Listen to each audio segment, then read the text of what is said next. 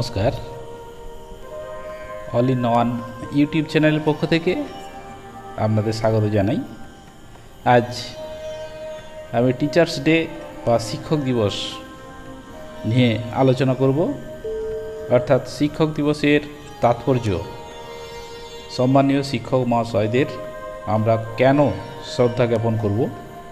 কেন এই দিনটি আমরা উদযাপন করব? সেই বিষয়ে আজকে আলোচনা করছি।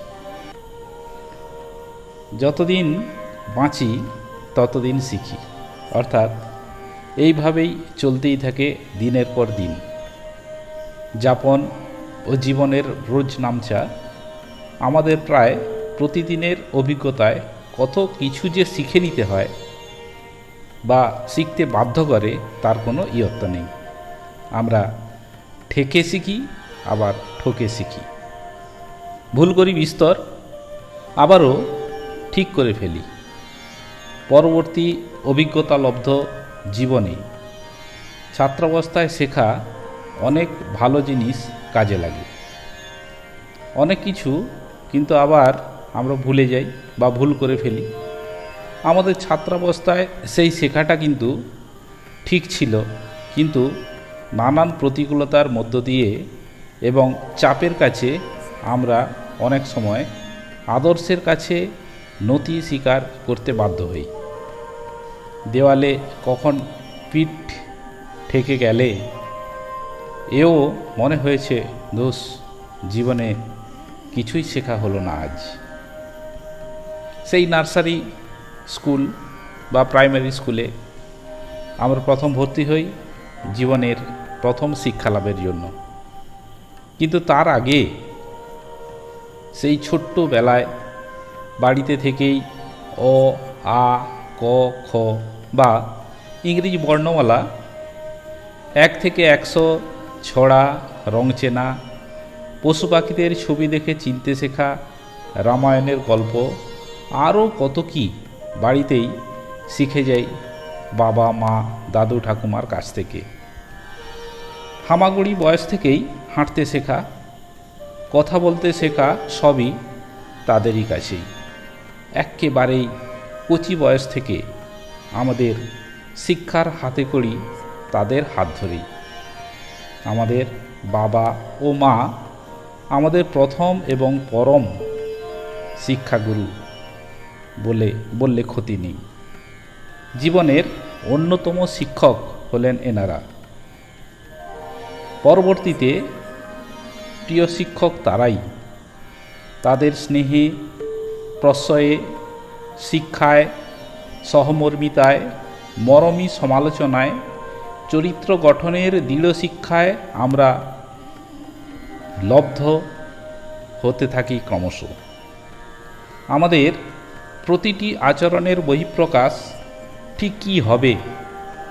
শিশু বয়স থেকেই উচিত অনুচিতের বোধ আমাদের শিখতে থাকি তাদের কাছ থেকেই।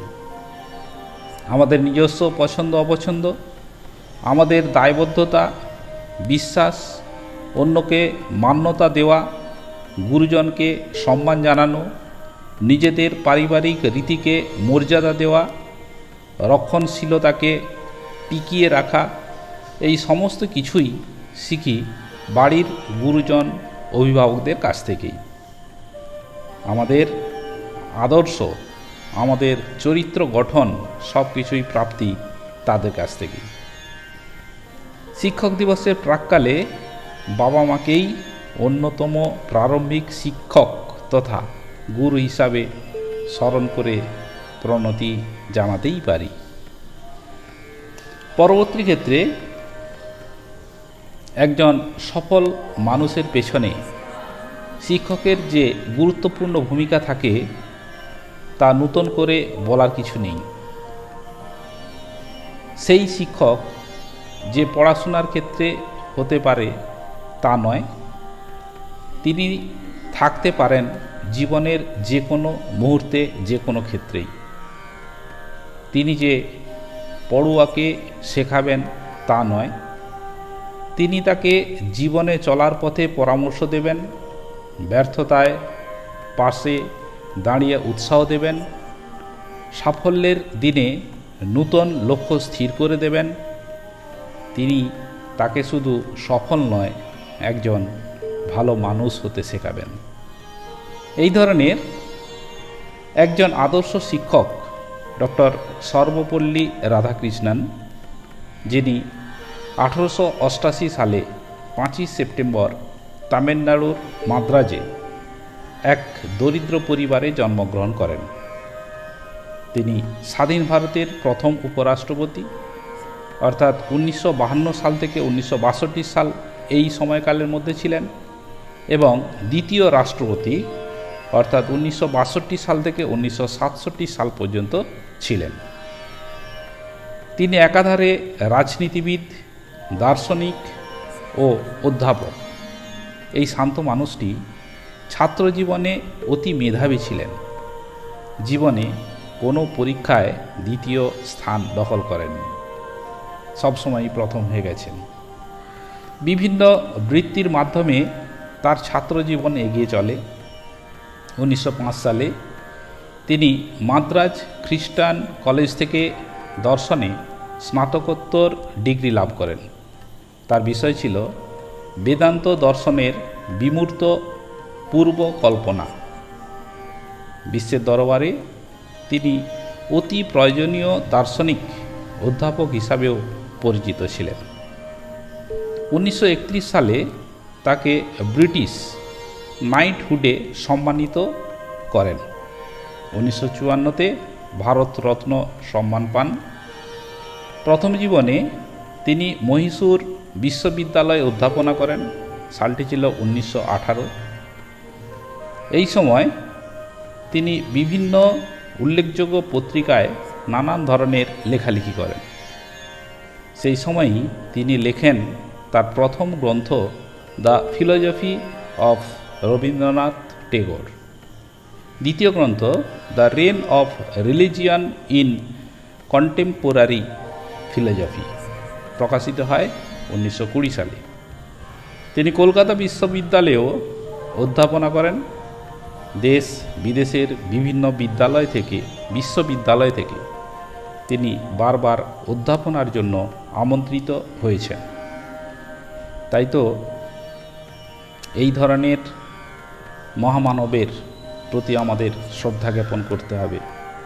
এই ধরনের শিক্ষক মহাশয় সম্পর্কে বলেছেন এপিজে আব্দুল কালাম, যদি একটি দেশকে দুর্নীতি মুক্ত এবং সুন্দর মনের মানুষের জাতি হতে হয়, তাহলে আমি দৃঢ়ভাবে বিশ্বাস করি, এক্ষেত্রে তিনজন সামাজিক সদস্য পার্থক্য এনে দিতে পারে। তাঁরা হলেন বাবা, মা এবং শিক্ষক। আবার শিক্ষক সম্পর্কে অ্যারিস্টটল বলেছেন যারা শিশুদের শিক্ষাদানে ব্রতী, তারা অভিভাবকদের থেকেও অধিক সম্মানীয়। পিতা, মাতা আমাদের জীবনদান করেন ঠিকই, শিক্ষকরা সেই জীবনকে সুন্দরভাবে গড়ে তুলতে সাহায্য করেন। রাষ্ট্রপতি হওয়ার পর শোনা যায়, তার গুণমুগ্ধ ছাত্র ও বন্ধুরা তার জন্মদিন পালন করতে চাইলে তিনি বলেন জন্মদিনের পরিবর্তে পাঁচই সেপ্টেম্বর যদি শিক্ষক দিবস উদযাপন হয়, তবে তিনি অনেকটাই আনন্দ পাবেন এবং বিশেষভাবে অনুগ্রহ লাভ করবেন। তাই সেই উনিশশো বাষট্টি সাল থেকে পাঁচই সেপ্টেম্বর আমাদের জাতীয় শিক্ষক দিবস হিসাবে আমরা পালন করে চলছি। শিক্ষক মহাশয়দের পেশাগত অবদানকে স্মরণে, বরণে, শ্রদ্ধায় পালন করার জন্য সমগ্র বিশ্বের বিভিন্ন দেশে এই মহান শিক্ষক দিবস পালন করার রীতি রয়েছে। নির্দিষ্ট দিনটি বিভিন্ন দেশে ভিন্ন ভিন্ন দিনে পালন হয়ে থাকে। বিশ্বের অধিকাংশ দেশই পাঁচই অক্টোবর বিশ্ব শিক্ষক দিবস হিসাবে পালন করে। বিশ্বের বিভিন্ন দেশের মধ্যে উনিশটি দেশ, যারা পাঁচই অক্টোবর টিচার্স ডে পালন করে। এবং দেশগুলি হলো Canada, Germany, Netherland, Maldives, Pakistan, Kuwait, Qatar, Russia ইত্যাদি। আবার এগারোটি দেশ, যারা আঠাশে ফেব্রুয়ারি দিনটিতে বিশ্ব শিক্ষক দিবস হিসাবে চালু রেখেছে। তার মধ্যে মরক্কো, আলজেরিয়া, লিবিয়া ইত্যাদি।